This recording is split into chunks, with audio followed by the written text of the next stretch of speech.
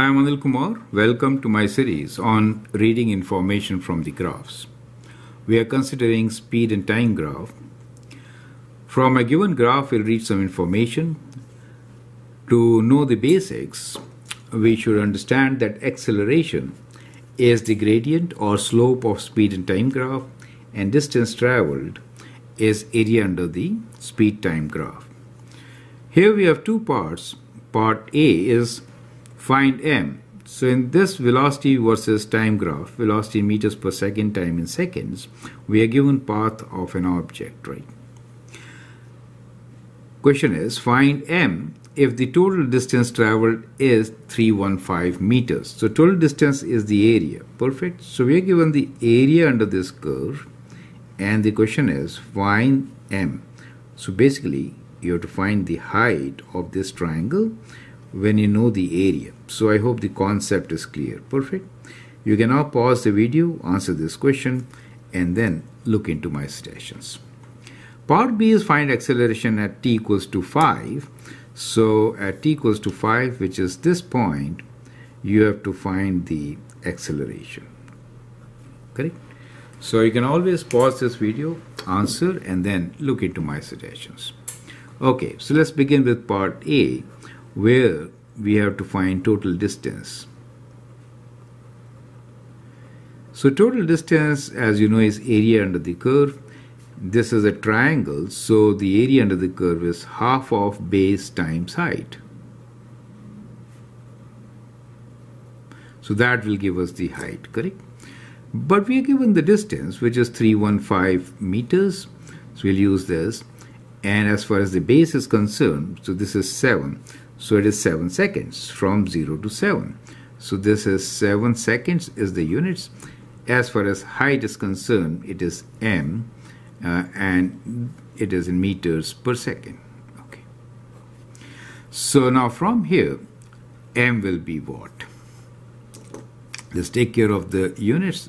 This to cancel, and so uh, what we have, the units match, correct, perfectly fine. And from here we can find what m is.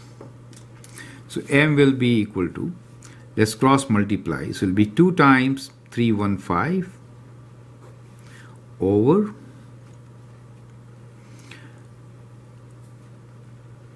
seven, right?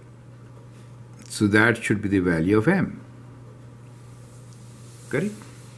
So now uh, dividing by 7, uh, 7 times, let's do this, or you could just multiply and then divide, either way. So let's divide first by 7.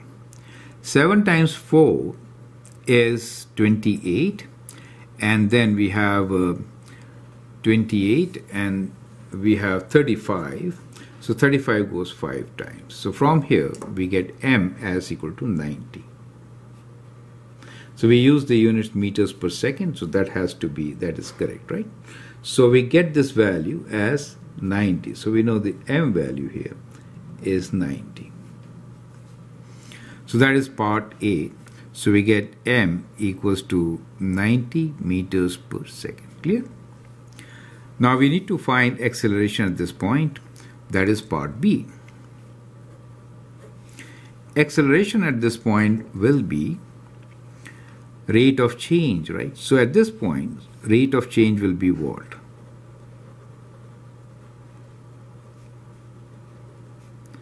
t equals to 5. So we can consider these two points so if we consider these two points, then change in this value, which is y value, is rate of change of velocity over rate of change of time. The velocity goes from 0 to 90, so the rate of change is 0 to 90. How?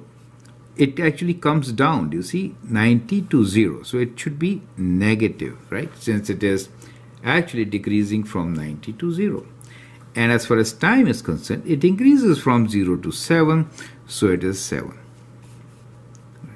so that becomes the acceleration. It is negative. Units will be meters per second square right? So which is equal to dividing by 7 we get negative 7 times 1 20 so 7 times 6 uh, sorry 7 times 2 is 14 just a minute. So minus 7 times 1 and 7 times 2 is 14 then it is 63 so times 8 will be 50 and 7 times 7 meters per second square right? Which you could approximate to minus 12.9 meters per second square is it clear. So that is how you could find acceleration at a point in the given graph. So i hope that helps.